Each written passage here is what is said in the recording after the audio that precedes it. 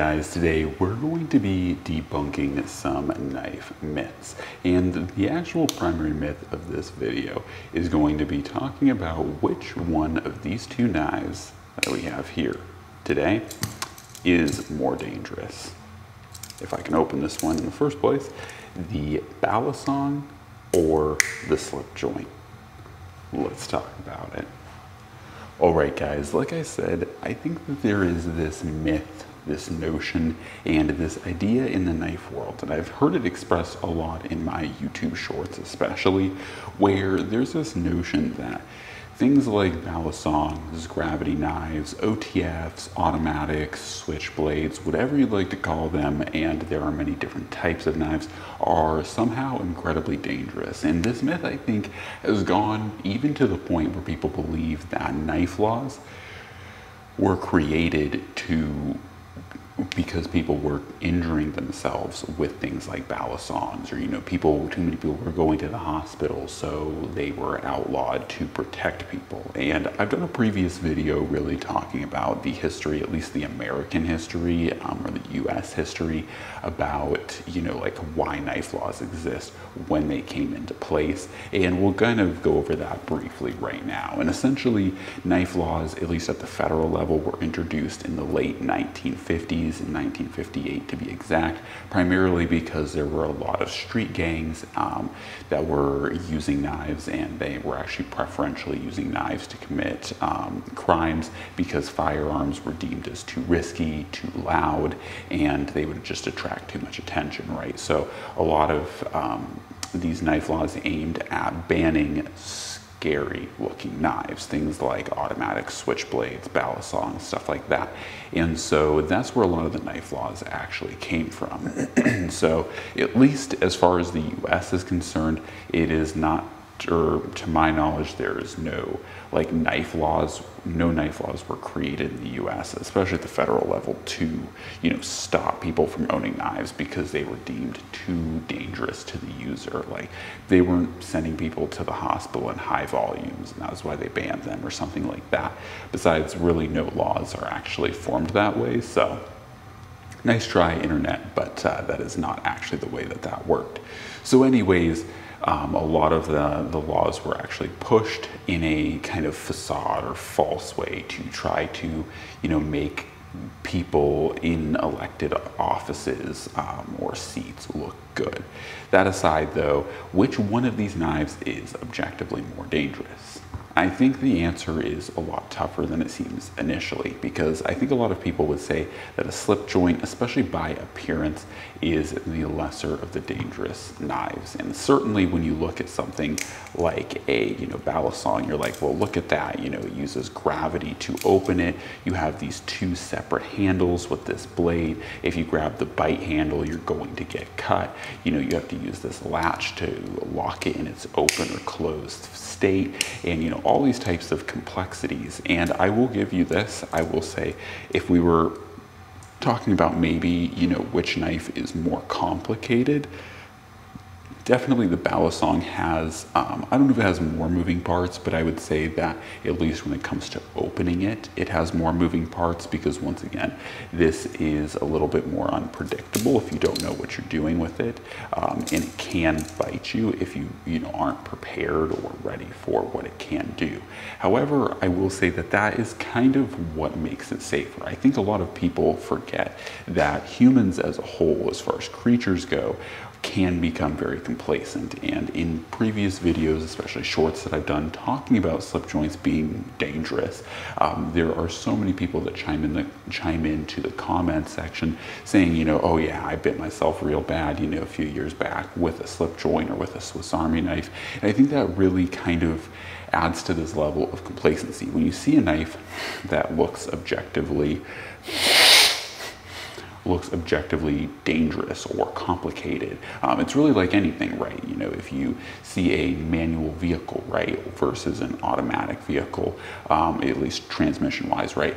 Um, you, you, know, it takes more skill, it takes more time, it takes more mental focus to operate that vehicle because there's more moving pieces. And when that kind of piece happens in your brain, you naturally are more active in the driving experience because you're more connected to the driving experience. And the same thing is true with knives. You know, when you have a more complex knife, oftentimes it's like, is there more danger to, you know, hurt yourself with it? Potentially, but I feel like that level of danger increasing also puts your brain at a higher level of saying like, okay, you know, you, my awareness is now increased because which handle is the bite handle? Which handle is the safe handle? How am I going to open this? How am I going to close this, you know? And so it's stuff like that that actually makes this a more safe knife because it's more dangerous because your brain's actively thinking more about the process as opposed to the slip joint where it's very easy with a slip joint to you know become lackadaisical and have that blade you know push right in on you. It's easy to forget that this doesn't have a lock or doesn't have a safety stop on it so it can bite you more easily.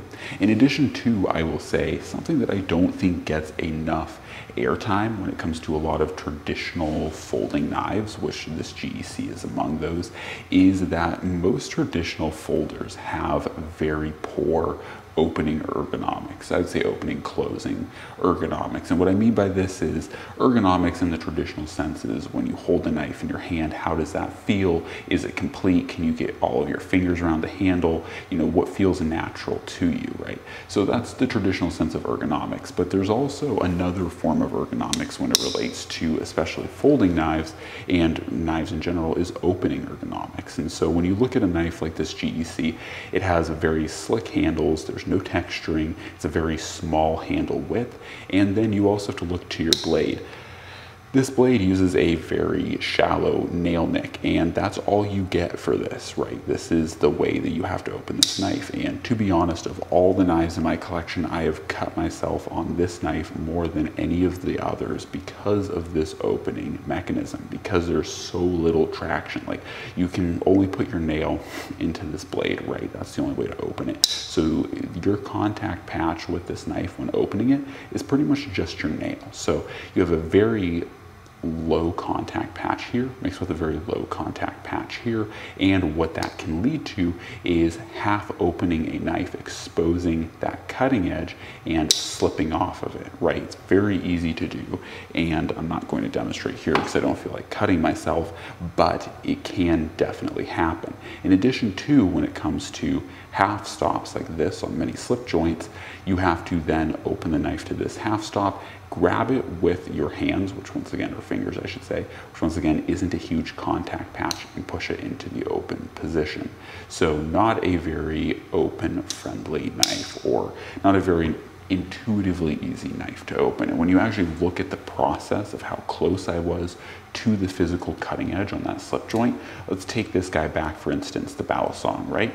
Okay, so how close do I have to really get to this blade to open it, right? So I use gravity to open and close that cutting edge, but this whole time, objectively speaking, my hand is not coming anywhere near that cutting edge, right? Because I can just let go of this bottom handle, the bite handle, move it out of the way. By the time I re-grab that bite handle, the blade is completely enclosed in a titanium handle, right? So it's not going to bite me. Now some people might say, oh, but what if you make a mistake and you know you do something like this?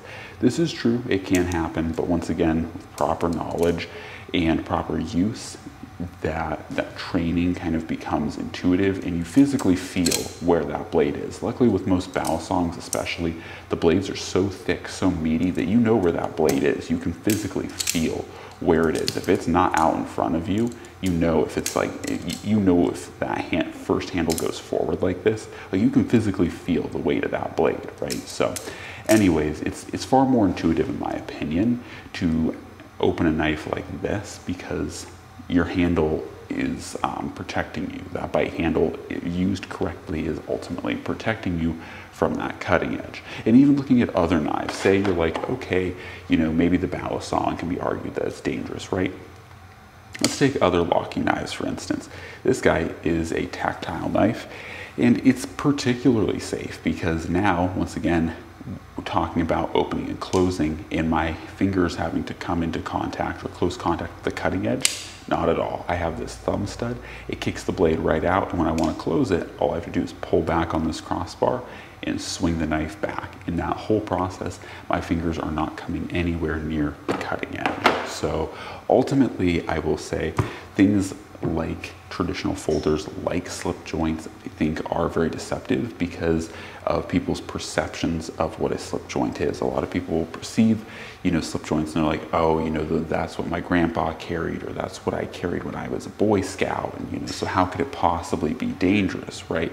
Well, you know, it's it might not be the most dangerous knife out there, but I would still argue that slip joints, Swiss Army knives, by and large, when it comes to the actual knife portion of a Swiss Army knife, are some of the most dangerous blades out there that you can get because they really once again, their unassuming nature leads to a natural, like, lackadaisical attitude to approach that knife, right? Like, you're not, you're not treating the knife with as much respect as you probably should. In addition to that, there's no mechanism to really stop the blade from folding in on you. And in addition to that, there's almost always poor opening ergonomics on just about any you know, slip joint knife out there. The ones that might be the exception to this rule, and I will gladly say that, are things like the Spyderco UK PK or UK penknife, um, and a handful of others that use, you know, dedicated opening mechanisms.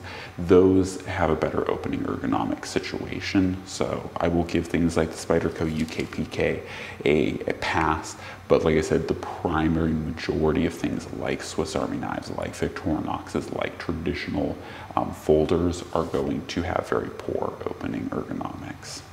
Anyways, guys, hopefully you enjoyed the video. As always, God bless, and I'm.